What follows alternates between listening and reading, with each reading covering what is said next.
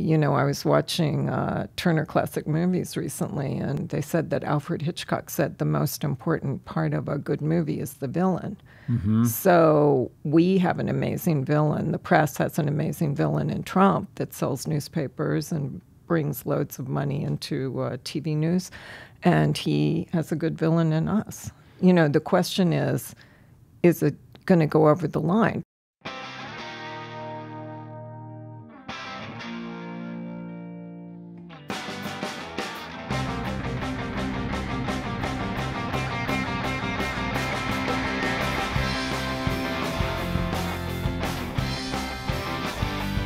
This is A New Angle, and I'm your host, Justin Angle, marketing professor at the University of Montana.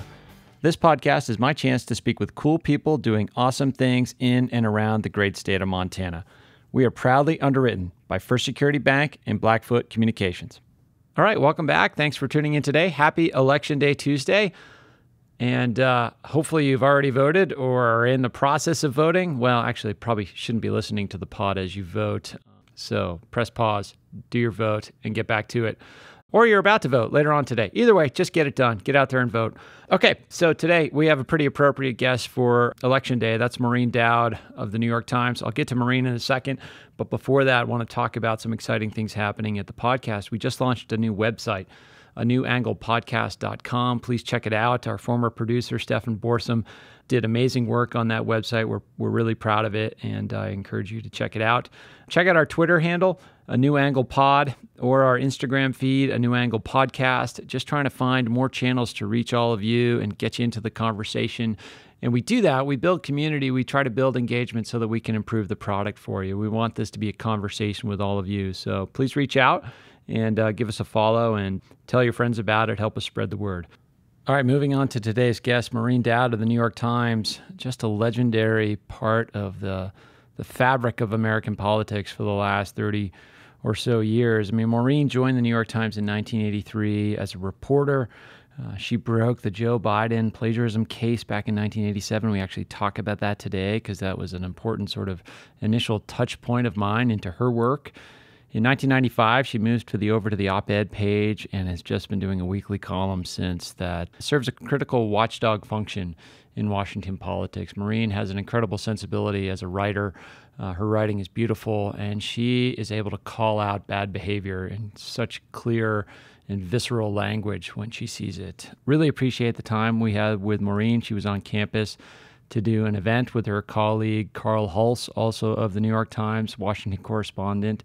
They discussed journalism in the age of Trump, and uh, today we do a little bit of that as well.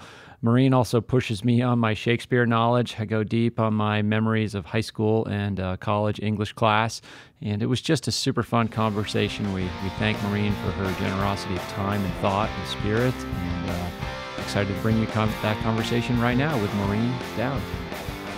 So we're here today with Maureen Dowd. Maureen, thanks for coming on the podcast. Thanks for having me. So you said you've been in Montana once before uh, to visit Tom Brokaw and get some fly fishing. Is that yes, right? Yes, many years ago, uh, he invited me to his house in Montana, and he gave me a fly fishing lesson. And it was, um, he taught me like it was about the hands of a clock. Like at two o'clock, you put the thing back. Everyone's going to kill me because oh, I'm yeah, giving 10 to 2. it wrong. 10 to 2, yeah. right. Um, and then I read somewhere that fly fishing actually um, uses up calories. So I was very excited that oh. I might learn to fly fish and lose weight. And burn some calories. Yes. Yeah. I had never thought of that application of fly fishing, but if that's an ancillary benefit, I think it's probably pretty good. Yeah, a river runs through it. You got to walk to a bunch of places. I always find that. Uh, I do more walking than I do actually casting. Yeah, I think there. it was like the the rushing water, or kind of you know your stance against the rushing water was maybe what was burning the calories, but indeed, maybe it's an urban, suburban, ex-urban myth. Could be one way or the other. Yeah. Um, so you're here with your colleague Carl Hulse to right. do an event with the journalism school this evening. Uh, Journalism in the Age of Trump, I think, is the title. Right. Excited about that, um, and we're just excited to get some some time with you. I have to say that you've always been a journalist, columnist that that I've been just really intrigued by the way you kind of just get right to the human condition of a situation. Um, and I wondered if, if attributes of your, your upbringing, uh, you know, I noticed when I was sort of preparing for this discussion that your father was a police officer and you majored in Shakespeare and so some of these things. Just wondering how that sort of shaped your approach to reporting. Actually, it's those two things exactly because my father, when he retired from the police force, became a administrative assistant to a congressman and a senator. So when uh, he was 61 when I was born. So when I was growing up, he uh, worked on the Hill, and before that, as a police detective, he had been in charge of Senate security for 20 years. You know, he was at the McCarthy hearings and he wrestled one of the Puerto Rican terrorists to the ground. And so he always judged politicians on whether they were phonies or decent people. Mm-hmm. He didn't he was a Democrat. He was stayed up all night the night Truman was elected because he was so excited, and he loved Harry Truman because Harry Truman was a really nice guy to the little people. But basically, he would judge people on you know their humanity rather than strict partisan lines, and I think I inherited some of that. And also in school, I studied Shakespeare and it's just amazing that in many centuries things don't change. It's all the same, you know, human emotions, like the Crayola crayon box of primary colors. Where we deal with. LBJ said that the two things that make politicians most stupid are sex and envy. Mm. You know, and these are what Shakespeare dealt with, and this is what we're dealing with now today. And I, I think Shakespeare is a really good kind of primer for covering politics because politics, this is why I was very skeptical before the 2016 election about big data. You know, everyone kept mm-hmm. saying Trump can't win, Hillary is going to win, and and Nate Silver would kind of make fun of us as columnists because we were he thought we were too focused on human aspects. Right, right. Punditry. But voting for president is the most personal vote you can make. And anyone who thinks, you know, Hillary thought in her last campaign that she had a brilliant um, guy, uh, one of these demographic big data guys, and he was so brilliant that he was compared to the mathematician Russell Crowe played in A Beautiful Mind. Okay. And on election night, he came to her suite and he said, "Oh well." You know, I'm sorry, our model in Florida was wrong. And uh, on election night. Yeah, and they were kind of like, "What?" And then and then they're like, "Okay, well, we've still got Pennsylvania." And he goes, "Well, actually, if the model is wrong in Florida, it's wrong everywhere." Yeah, yeah. And I had always thought the over reliance on big data was stupid just because politics is so personal. Mm-hmm. It's just such for president, it's just a really personal thing about who you like and who you're going to trust with your future, your children's future. Life and death matters. And it seems like we, I've heard you mention this before, like we, we have these patterns of oscillation between, you know, somebody who's folksy and likable and, you know, the, the president you want to have a beer with, and then you go, you know, like George W. Bush, and then you go to Obama, which is sort of the professor and is this, do you see this cycle of, of kind of our preferences as a populace? Well, you know, they used to make fun of this when this first came up years ago that, um, you know, they would say, well, who, who do you want to choose your pizza toppings? You know, but, but fundamentally, I think the Democrats have hurt themselves a lot over the years because they ignore this, that you have to have someone running for president who is alluring, who can relate to people, who can get them excited, who is excited themselves to be running. And if you ignore that and you kind of run someone who uh, cerebrally you think is the right person and people should make the choice cerebrally and this is the most accomplished person without choosing someone who is able to excite people and make them believe in them you know, the Democrats just have had a tendency over the years to choose hall monitor types. Mm-hmm. And I think that hurts them because that is not the kind of person you want to vote for. You want to vote for the one who makes you excited and makes you believe in them. And it makes me think about, you know, you hear a lot about how politics is all tribal. these days, and it seems like the Republicans do a good job of creating tribe and then using tribe to push policy. It seems like on the left, maybe they use policy to try to create a tribe, and it's, it's certainly a less effective vehicle for creating a tribe. Yeah, that's interesting. Over the years, I think that Republicans have had more of a reputation of um, they will do anything to win. Yeah, yeah, we certainly And- saw this last week. Yes, and Democrats have had more of a reputation of they, you know, try to be fair, but oftentimes they're sort of ineffectual.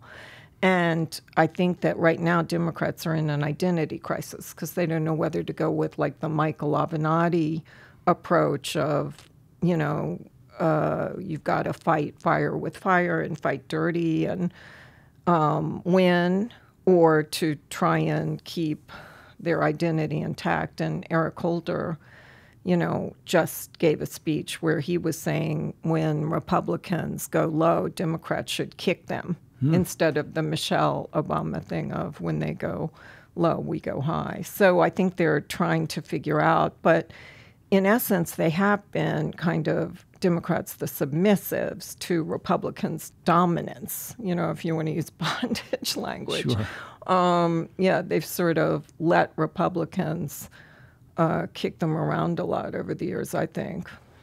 I mean, I think that's why someone like Alexandria Ocasio-Cortez, Mm-hmm. even though all her numbers don't add up, she brings fire and fight and excitement and charisma.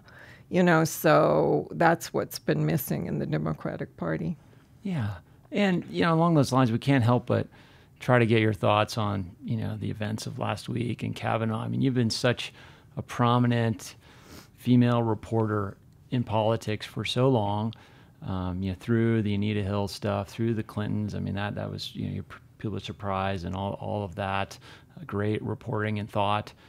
Um, has anything changed in Washington with regard to gender and politics? Well, it was so horrible to watch the hearings and have to go through that again. Yeah. With actually three of the same white male senators, two Republicans who were on the committee that kind of, uh, what's the right word, besmirched, uh, destroyed, shredded Anita Hill. They were more careful this time, but, you know, they were doing all the same discrediting behind the scenes. Um, you had a great phrase in one of your columns about outsourcing the wet Yeah. work or something No, like that. they outsourced the estrogen to Right, uh, okay.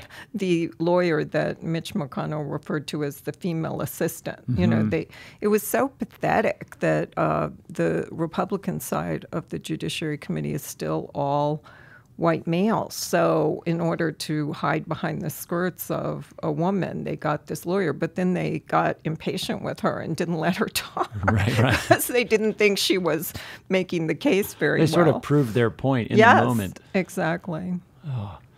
So what do you make of that? I mean, they, they, they sort of have this this uh, you know, the impulse to put this this female uh, prosecutor up Mm-hmm. there. Sort of it uh, it signals an awareness of some context, but still the underlying attitudes don't mean, appear to have changed. it made me long to see Mariska Hargitay from Law and Order come Mm-hmm. in and, you know, uh, pound some heads. I mean, it just you can't. It isn't a trial, and she's a trial lawyer, so she was slowly building up to points and trying to lay the groundwork for points, and the format just wasn't set up for that. Yeah, those So- five minute increments Yeah, and all that it- odd things. didn't work at all. You know, a friend of mine was saying she looked so uncomfortable. She looked like she just wanted to get back to the Marriott and have a good steak and whiskey sour. you know? Yeah. And thinking about all of that, I mean, it makes me think about, you know, your writing seems to, you just call out bad behavior and hypocrisy on all sides. I mean, it seems to be, I've heard your, your, you describe your, your approach is a sensibility rather than an ideology. Is that, is that accurate? Well, in the beginning, I don't. I was the first columnist, I think, who was trying to write a column. I was a political reporter for 20 years, so I wasn't doing it from the left or the right. I was trying to do it more from, you know, as you say, the vantage point of sensibility or morality or behavior, not uh, I'm going to defend a Democrat to the death or a Republican. And I think in the first few years, it it, people it's hard for people to get used to. And it's funny, I come from a conservative family, so when a Democratic president is in and I'm critiquing them, my family loves me. But when a Republican sure. president is in, they get really mad at me. Like my older brother Michael got mad at me one Thanksgiving because I was criticizing W about the Iraq War. And I came home and he said, You know, if there was a hurricane, you would blame it on W. And then Katrina hit, and I blamed it on sure. W. So, yeah, I mean, it's hard because you don't have one home on the left or the right to go to, a community that loves you all the time. And Times readers, I think, have a hard time with it and they get angry at me, you know, a lot. But I, I don't know how to do it any other way. If I could do it the other way, I would, because it would be a lot easier. Yeah, but I don't think anybody of us, any of us, would be better off for you doing it that way. I mean, you have this ability to, you know, call balls and strikes in a way that is is kind of disappearing in the media. I mean, if, if you listen to Fox News, you never hear the other, you know, any of the balls and strikes. If you listen to MSNBC, you never hear the balls and strikes. And it's interesting. Like, I wonder how how readers on either side re- respond to your work, or if they even find it. Well, you know, uh, we are obsessed now with fake news, and you know, it's a very, very important time for journalism. But we've dealt with fake news before. Mm-hmm. You know, there was fake news in Vietnam. The lead up to the Iraq War was fake news.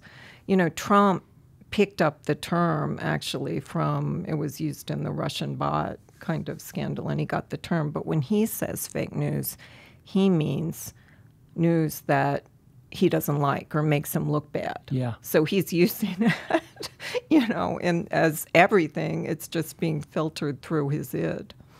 Well, and that brings us to something we talked about before we started recording, and you know, his sort of personal brand. And he, you know, he certainly has a brand. And one of the things about his brand that he, he does is he's he's able to kind of brand others, you know, with these clever nicknames. Oh, that's so interesting. You're using it in a double way. Yeah. I hadn't thought of that. That's really interesting. And I, I, certainly don't want to draw similarities between you and President Trump, but you, you do some clever work with nicknames in your writing as well. I, I try not to be so belittling. It's yeah, yours are not destructive. You know, there's in, a, in a, a, great line, and there's a new documentary about um, Mr. Rogers, and um, he he says that the thing he hates most is when people make other people feel less. Mm. And in a way, that's what Trump specializes in. And it was devastatingly effective during the 2016 Republican primary. But um, I love the idea that he's branding. And, you know, I talked to Steve Bannon about this, and he said that Trump, this, this seems odd, but he claims it's true, uh, uses Jung to come mm. up with his uh, branding really? people that he wants to go deep psychologically he tries to think of the exact psychological thing that would be most devastating, most devastating. yeah yeah so like low energy to and it was i mean Bush. it's even if you don't like trump sometimes once you've heard some of these things um, i mean um, crooked hillary is genius well, he well, so that was Steve Bannon's argument that Trump has a genius about this, and that he actually looked at Jung to come up with the ways that could be most psychologically penetrating. Um, and I know he he thinks a lot about it because I was interviewing him during the campaign when he was formulating Crooked Hillary, and he would keep saying to me, "I think I've got one for her, but I've really got to."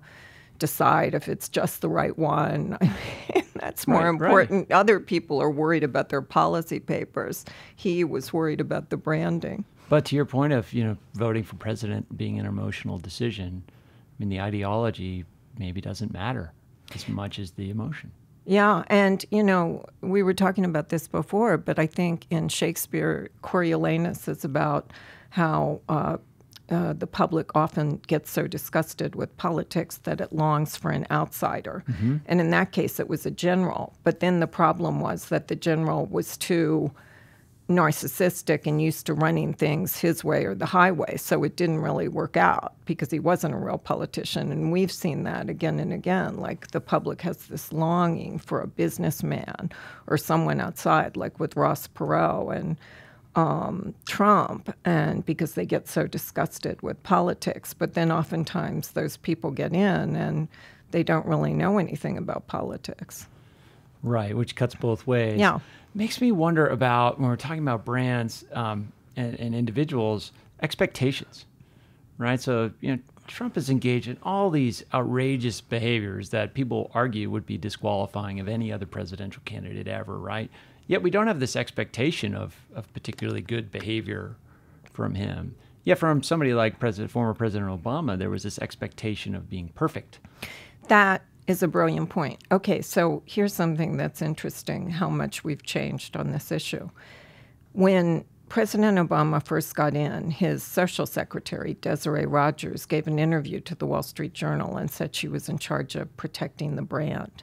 Hmm. And David Axelrod got so angry that she used the word brand right. about Obama that her days were numbered. I mean, that one word sure, that kind of short circuited her career at the White House. she House. sort of pulled the curtain back too and much. Now it's like all about the brand. yeah. You know, I mean, that's all Trump is his brand, Ivanka's brand. And, uh, you know, everything is the brand. I can't, I mean, it's very hard to tell if their brand is up or down. In a way, Ivanka's brand in New York is ruined, but she's doing better in China. Sure you know so the, but the whole brand issue is fascinating and i wonder what the expectations i mean that's why probably when you question um, the president's business acumen when you question his commitment to winning or things like that that's where it gets particularly sticky for him A New Angle is underwritten by First Security Bank and Blackfoot Communications, two cool companies doing awesome things all over Montana. This is University of Montana President Seth Bodnar, and you're listening to A New Angle. Yeah, he, um, you know, I sometimes I call him. He's like the Rosemary's Baby of politics, social media, and reality TV. Hmm. And it's funny that he's like our oldest president now, right? And he uh, well, I guess with, along with Reagan, but he um, he was helped in his campaign by Twitter, and he is making policy on Twitter. And it's just weird that the first president to sort of rule by Twitter is the oldest one. Um, you know, there, he has a lot of paradoxes, obviously. Indeed, and you mentioned Ivanka a while back. I mean, it seemed like at the onset of this presidency that, that people on the left sort of held her up and held Jared up as these, these are the sort of informed, enlightened uh, things to hope for. You know, they will take on liberal causes or stand up for what's right or whatever, and yet they've sort of maybe had mixed uh, mixed results on those fronts. Well, I think that Ivanka was trying to, uh, you know, kind of be. Uh, contrarian to her father and also complicit with her father, and the combination didn't really work in the end because people realized that, uh, you know, she really didn't have that much power over him. And I talked to her about it once, and she said she just couldn't be in the Oval Office every minute. Like urging him to do something he didn't want to do. And also, I think she resented liberals, as she put it, acting like she was Bernie Sanders. Sure. I mean, you know, yeah, yeah. her politics were not. Again, expectations. Right? But I think that's kind of been destroyed. The idea that, you know, she's the protector of mother and children was destroyed when the administration separated, you know, babies. Babies were brought back after a month to their mothers covered in lice. You know, I mean, if she can't do anything about that, where is her power? Yeah, it seems like you know that story has sort of fallen out of favor with the media and for for reasonable reasons. Yeah. Well, you know, I was thinking about the brand thing um, as we're talking, and it's you know, it, Trump used to be a sort of more benign almost like buffoonish how how many things he'd put his name on. If you would go to a Trump hotel in New York, it was on the water, it mm-hmm. was on, you know, he would just put his name and picture on everything he was selling, steaks and vodka and wine. And now he's kind of selling, you know, derision and division. Those are the brands he sells. Yeah, and you got to wonder where that comes from? Is I mean, is it comes from like the feedback he's getting in rallies Yes. and like Yes. this, this social I- feedback? Well, before he denounced me on Twitter, uh, I, I interviewed him a lot, um, occasionally over the years, decades, and then a lot during the election year. And he, I asked him that once. I said, after there had been violence at a Chicago rally, and uh, you know, reporters were having to get Katie Tur had to get an armed guard, and you know, we're putting bulletproof doors in our office. And I, I said to him, why are you doing this? You you were you were a much less dark, threatening figure when you were a persona in New York. Uh, why have you gone to the dark side? It's like you've taken this boat down into dark, dark waters. And he really tried to answer me. He thought about it and he said, Well, I guess it's because I got to be number one doing that. Hmm. And I want to stay number one, so I have to keep doing that. So that's And where the votes are. yeah, and the love. You know, Yeah, he's an yeah. attention addict. Those are the people who are giving him the love. And I said, but violence at your rallies, how can you let that go on? And he said, oh, I think it adds a layer of excitement. Wow. Yeah. And well, I mean, certainly the way it's portrayed on television, it certainly adds a layer layer of excitement. Yeah. And, you know, we were talking about brands, and I think he has reshaped the New York Times brand because uh, the New York Times is, and, and journalism in general, is now seen as this uh, heroic, essential, you know, part of uh, our civic life that is helping to hold norms together. And so, uh, you know, I was watching uh, Turner Classic Movies recently, and they said that Alfred Hitchcock said the most important part of a good movie is the villain. So we have an amazing villain. The press has an amazing villain in Trump that sells newspapers and brings loads of money into uh, TV news, and he has a good villain in us. You know, the question is, is it going to go over the line? Because we've just had this Washington Post reporter murdered by the Saudis. Right. And, uh, you know, is that because the Saudis know that Trump won't say anything? So it can get ugly really quickly, although there's a mutually beneficial aspect of it that journalism is now safe for a little while. Uh, you know, there's a really, really dark, scary aspect of it too. And my office is right at the door where they're putting in these bulletproof doors, and you're thinking, you know, why? Yeah. This this sort of cartoonish party guy from New York. How did this happen? Right. I mean, how's that feel at your place of work to feel like there's that there's that reality? Well, it's very mixed. On the one hand, we're heralded as heroes Yeah. in a way we weren't before. And on the other hand, we're behind bulletproof doors. I don't think Trump even realizes what he's doing. Our, he called our publisher in because his father loved the Times and he loves the Times. And he wanted to talk to A.G. Sulzberger, and A.G. Sulzberger wasn't quite sure. This is about a month ago.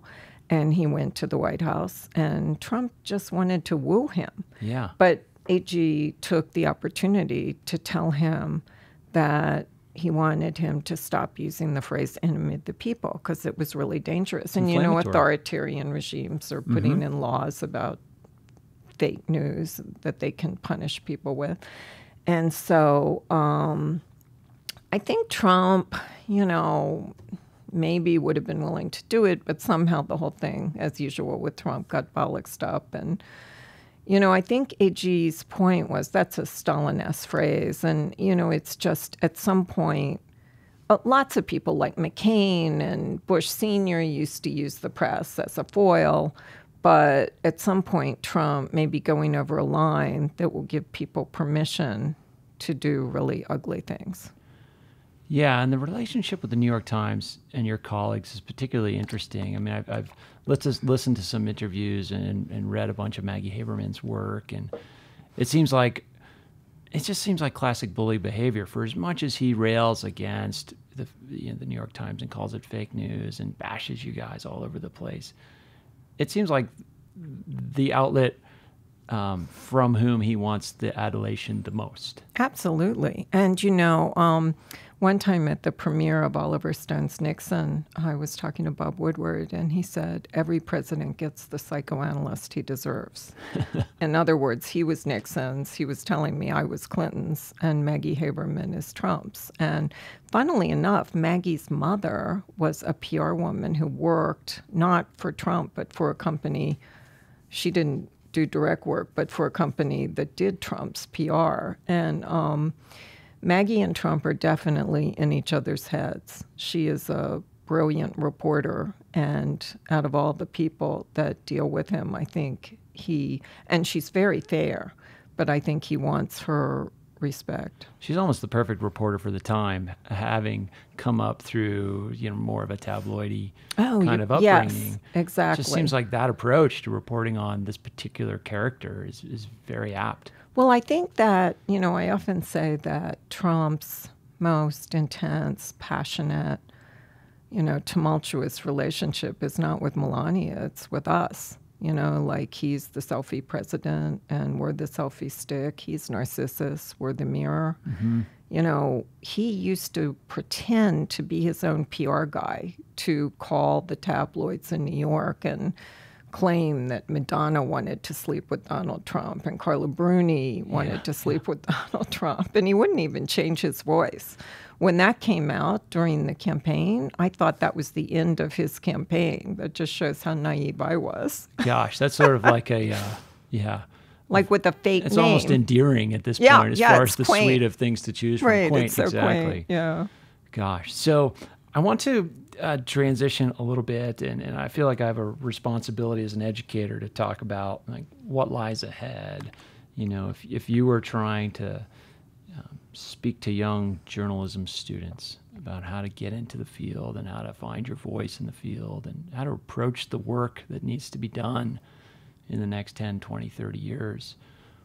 It's so hard. Well, about? I did just speak to a journalist class here and you know, it's it's hard because on the one hand, journalism is now more heralded and essential than ever because of all the Trump has created an alternative universe, and mm-hmm. you need journalists to kind of pierce that. But on the other hand, you know, all the community newspapers are dying, and you know there are fewer ways to kind of come up through farm teams than there used to be, and um, you know it's it's hard to know exactly how to advise kids, except that I think, at least with Trump, they can see why journalism is so important. I mean, I used to get very nervous with Dick Cheney because it made me more nervous to see someone who was staying within the norms that all the journalists trusted and the bad stuff he was doing. It took years to come out. At least with trump you can mobilize in real time. Sure. You know if he does something awful you can react in real time. Mm-hmm. cheney you know would take years for people to realize oh my gosh maybe he's off his rocker. So um, but i think they can see how we are such, it always sounds corny when I talk about checks and balances, uh-huh. but I think that's what we do. We are part of the checks and balances. And it's like the most important work you can do. And what gives you hope in that work? Like, what, what brings you joy in your work? I mean, you cover a lot of, uh, unfortunately, hypocrisy, bad behavior. You call out a lot of things that need to be called out, but is there, is there, what are the aspects of your work that bring you joy? Well, it's hard because, you know, I love to use humor. And I think my, one of my idols is Jonathan Swift. And I think that in the worst of circumstances, you can always use humor as a vehicle to get across serious points. But now, because of uh, Trump's, you know, fake news, uh, our editors are kind of nervous about using satire because they think, you know, it can be confused, that sure. readers will, you know, get yeah. confused and take it seriously. And a lot of readers don't, are so frightened and, uh, you know, angry about Trump that they don't want to hear, you know, the lighter side of anything, which I understand that. But that's hard for me because you know, I love using that as a vehicle to get truths across. But I guess until we get past this, like, really dark time, it's not going to be as accepted. I mean, Saturday Night Live, you know, can still do a good job sometimes, like the Matt Damon skit Sure. was Yeah. brilliant. But, um, Although you know, I wonder if I wonder if they are. Yeah, they're sort of becoming a little like Michael Moore in a way. Yeah, I like just- nobody goes to Michael Moore film to get their mind changed. Right. I just saw his movie uh, recently. Yeah. And uh, you're right. I mean, that's the problem. Everything is prejudged. So, you know, everybody already has their mind made up. So it's hard. Yeah, it's kind of like you know, you would you could argue that in a world with so much more access, so much more uh, information, so many more information sources, so you know, so much sort of flatness in the ability to communicate that people will be more informed. Yet, it's causing this polarization of information sources, and it's almost making the problem worse.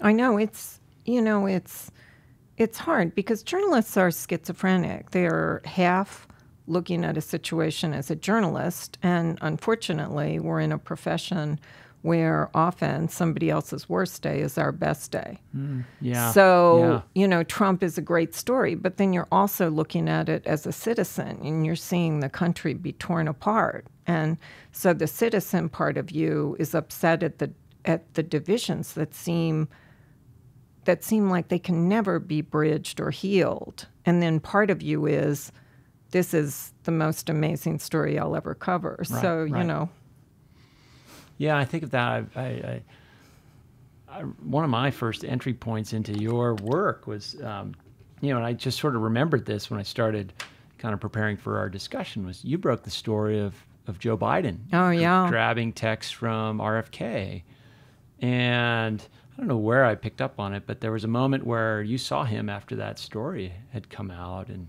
and I'm sure you've seen him many, many, many times since that story came out, but.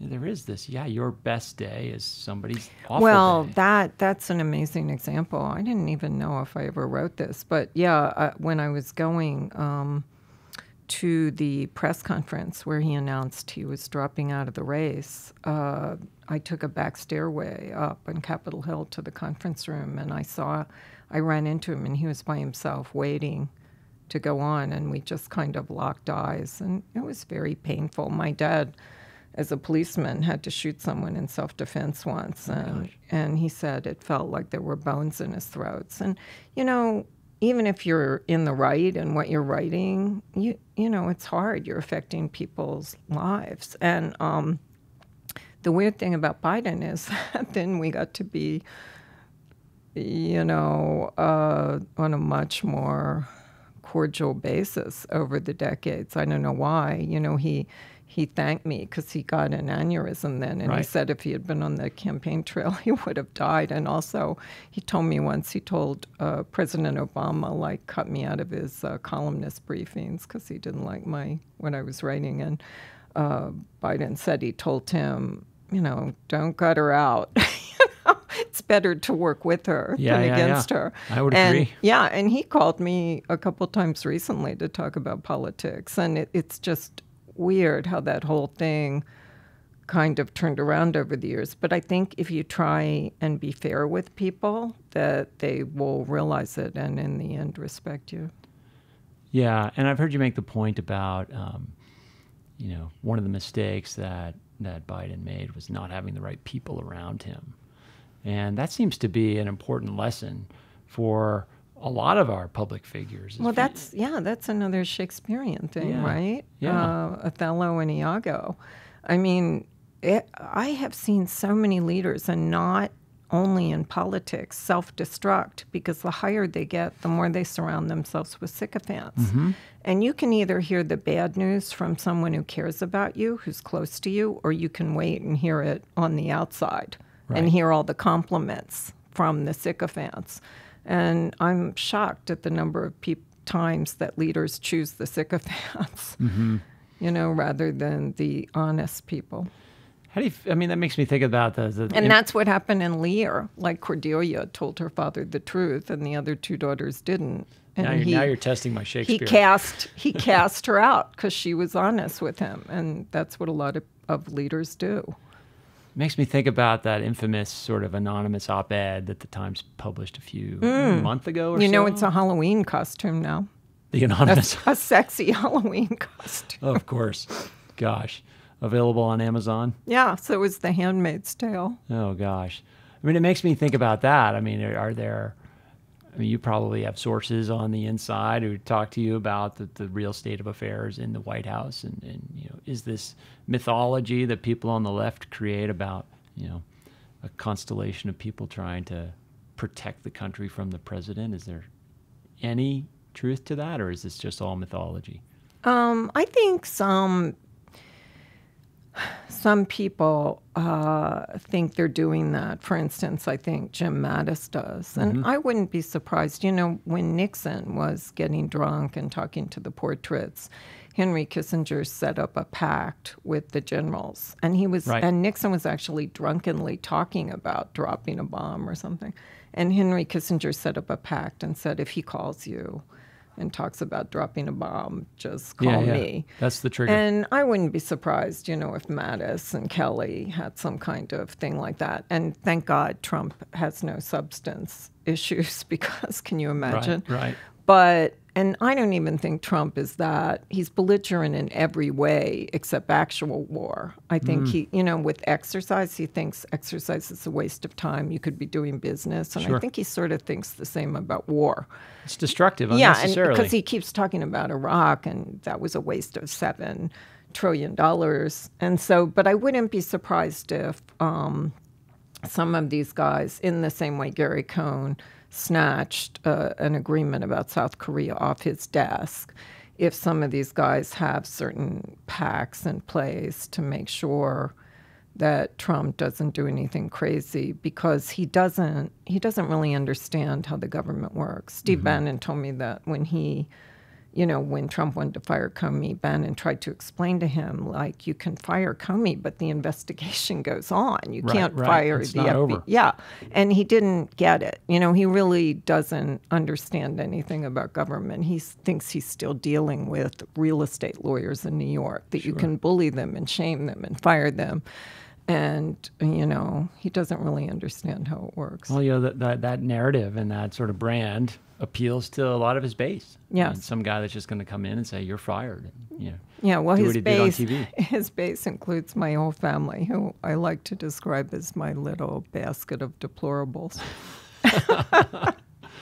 Gosh, well, that's, I mean, we're, we're sort of up against the end of our time, but I'd love to engage you about the Clintons and Hillary Hmm. in particular, but that's a whole nother, we could do a whole nother podcast about just that. Yeah, we could. Well, Maureen, thanks for being so generous with your time and insights. And it's just a great honor to have you on campus. I know our students and our community are really excited about it. And uh, I look forward to the event this evening. And I look forward to, uh, you know, reading more of your columns because you're a voice we need right now. Well, thank you. You're a great brand. I'm doing my best.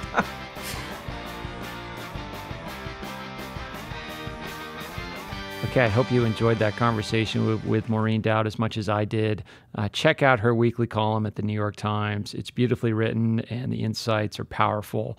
Uh, she's an important voice in politics and has been for a long time, so I encourage you to, uh, to follow her work. Okay, next week, another incredible woman in journalism. We have Missoula's own Amy Martin. Amy Martin has a long history in Missoula as a journalist, as uh, as an entertainer, as a writer, as a reporter, and uh, her latest project, the Threshold podcast, is just crushing it. It's incredible work. Uh, they do in-depth environmental reporting, one story at a time. Their first season was all about the, the, the bison herd that's starting to expand in population, the history of it in the uh, greater Yellowstone area. And this season, Threshold is focused on the Arctic and climate change in the Arctic. And I had a great conversation with Amy about her work and um, the story she's trying to tell through the Threshold podcast. Stay tuned for next week. Remember that a new angle was brought to you by CED, Consolidated Electrical Distributors. By now, you've been listening long enough to know that these guys are big and that they sell pretty much everything electrical you would ever need. But you might not know that they hire a ton of University of Montana students. If you want to learn more about careers at CED, visit cedcareers.com. It's a great website name. Before we go, I want to thank some important peeps. Comzar, Elizabeth Willie, interns, Aspen Runkle, Mason Dow, and Max Gibson. Huge thanks to VTO for the tunes, and finally props to Jeff Meese, our master of all things sound. Before we go, if you have any questions, suggestions, comments, insults, whatever, please email me at a new angle at umontana.edu. Help us spread the word and be sure to use the hashtag a new angle when you do. Thanks a lot. See you next time.